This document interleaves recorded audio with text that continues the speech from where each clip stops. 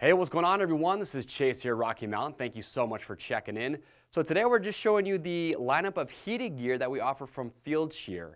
And let me start this video by saying that if you've never used heated gear before, trust me, it makes a difference. If you don't want to be cold, whether it's on a motorcycle ride or really any outdoor activity, because that's what's nice about this gear is that all the pieces that we're going to show you today are battery operated. Now, it is a give and take because being battery operated, yes, you do have to worry about battery life, but what I love about this gear for that reason is that it's not just limited to riding your motorcycle. If you want to go to if you want to go skiing, if you want to go, just go to an outdoor activity where you just want to have some warm gear to take with you, this gear is completely mobile. You can do whatever you want with it. So I like the battery powered gear for that reason. Now we do have some gear that we offer that does plug directly to your motorcycle. So if you like the idea of not having to worry about battery life, you just get on the bike, you plug it in. We do offer some heated gear that does have that option. But we're just gonna go through and talk about the different pieces that are up here, some of the features that we like about these to help you decide, you know, which one of these you might wanna pick up and also just talk about the fit of the, some of these pieces as well. But if you have questions or comments about anything I talk about as we go through, feel free to leave that down below and we'll help get those questions answered. So to get started, I want to talk about this vest. This is the Peak Bluetooth vest. That's another cool thing too, is you don't see this too often, but a lot of these pieces, like this vest and the primer base layer shirt and the pant, are Bluetooth. So you actually can download the app that they have. It's free on the Google Play or Google Store or on the iTunes Store, and you can control a lot of these garments just using your phone, which is another cool feature about this. Okay, so first up, you have the Peak Bluetooth vest. Now, I got to give credit where credit is due. Whoever designed this and the fit, they did a phenomenal job. So I'm about five foot seven, about 175 pounds, about a 43 inch chest, and I'm wearing a size medium in this vest, and it fits me exactly how I would want this vest to fit. It's not overly tight, but it fits close enough to my chest and to my back that I feel like those heating elements inside here are gonna do what they need to do and be you know, nice and close to my body to get that heat transferred over. Now all these garments too, they all have four different heat settings. And all of them, you're gonna be able to control either from a button on the garment itself. So on this jacket, or this vest, you can see it's right down here at the bottom. So all of them have a button that you can use there. But again, you have that app to do it via Bluetooth as well. But I really do like the fit of this. It fits me nice and snug. You've got extra length in the bottom. And with this, you're gonna have heating elements up here in the chest and then on the upper back. So I do, I am a fan of this. It is going to block the wind. It's gonna do really well when it comes to water also. So they did a great job with this vest.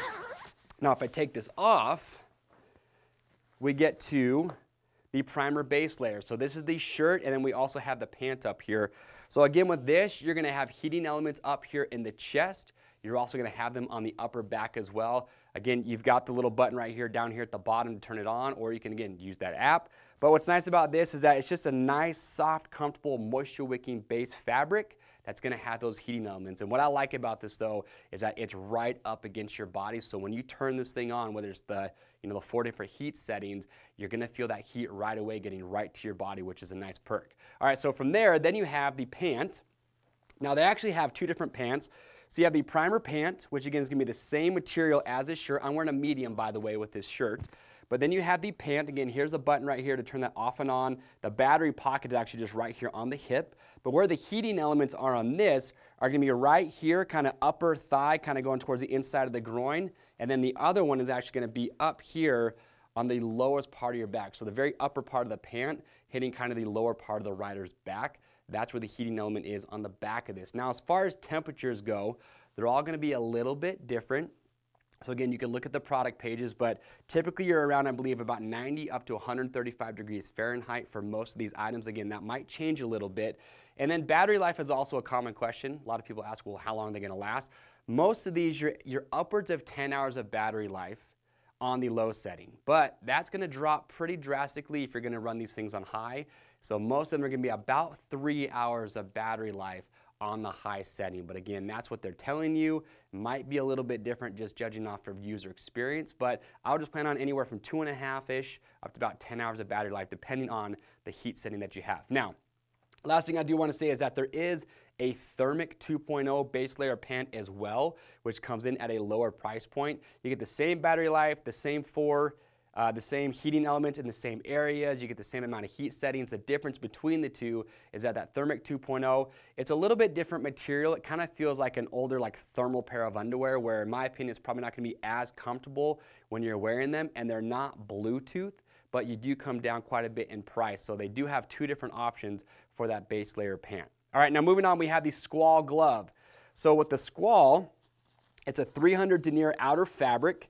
You've got a fleece liner on the inside, fully waterproof, windproof glove. Here's your button right here to control it. Now the glove is not Bluetooth, but I understand why because it's so easy just to reach right here to turn these on. And I've actually got the battery in the glove right now. So you've got this zipper compartment, battery fits right here. I'm wearing a size medium. The fit for me is really good. It is touchscreen compatible, which is nice. But to turn it on, I'm just gonna press here. There you go. So red's gonna be your high setting, press it again, and that will filter through all four different heat settings. And I turned this glove on, put it on high, and it was pretty quick that I noticed the heat getting to the back of my hand. So you're gonna have those heating elements on the back of the hand with this glove, which is nice. So if I just hold it down, it's gonna turn it right back off. You do have this nice Velcro strap here just to really cinch down that gauntlet. And then you've got some reinforcement you can see right here in the palm, which is nice. So again, that's the Squall heated glove. And then you have their heated liner. So same thing, you're gonna have the same pocket right here on the back of the hand, turn it off and on the exact same way. Now with the liners, here's some that you would need to know. So I tried this on again, size medium, fit true to size. It's, it's a thin material and the heating elements are gonna go across the entire back of the hand.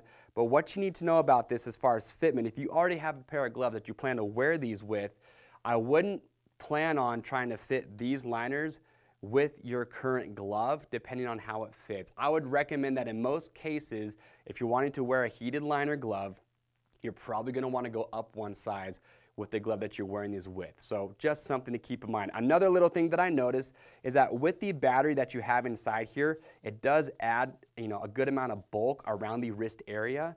So if you're not wearing, say, like a full gauntlet glove like the Squall, you might have a harder time getting your other glove to fit over top of that. So just a couple things that you would want to be mindful of. But again, four different heat settings that's going to be a really nice feature to add to a, a, pair of existing gloves that you might already have. They also have heated insoles. So with these, these are going to be Bluetooth as well, and the way you actually charge these is right here on the inside. You can see you've got your USB port right here, so you can just charge it there. And then these are going to be Bluetooth again, just use that app, and where the heating element is on these is going to be up in the toe area.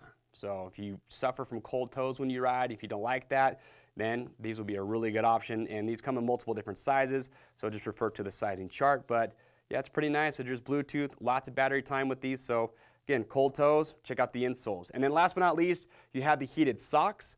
So with the heated socks, you're gonna have those heating elements. I can feel them right here at the very edge, again, towards the toe area. It's a nice tall sock, very comfortable. I'd say it's about a mid-weight to a thick sock. So it's gonna do a good job of just keeping your feet warm. You can see the length on it. It's gonna be a tall sock, so it's gonna go up over the top of the calf. So again, just something to be mindful of. But the way that these are controlled is you actually have the battery right here. So actually, I'll just show you. It's pretty simple. If I just do this inside out real quick, there is the little pouch for the battery. You just plug it in. And the way that the sock works is a little bit different. You don't have that little switch or the little button. Instead, on the actual battery right here, you can see you control the heat setting using the battery. So you just plug it in and then the battery is what's gonna get that thing going for you. And that's it. That is the heated gear lineup again from Fieldsheer. You've got the base layer, you've got that peak vest, the gloves. They got everything you need. And like I said, if you've never used heated gear before, it makes a big difference. Trust me, you don't realize how much you love this stuff or how much you need it until you go without it. So be proactive, get some today. If you have questions, comments though, make sure leave those down below. Click the link or head over to RockyMountain to get yours today. You guys all know we ship for free over 75 bucks. Last thing I will say though is that when it comes to the heated gloves or the liners, heated grips. If you haven't done that already for your motorcycle, get heated grips. That will make a big difference as well. Also some hand guards on there to block the wind. Get subscribed, hit the notification bell, and that way you're always going to stay up to date on all the greatest videos that we have just like this. I am Chase, and we'll see you on the trails.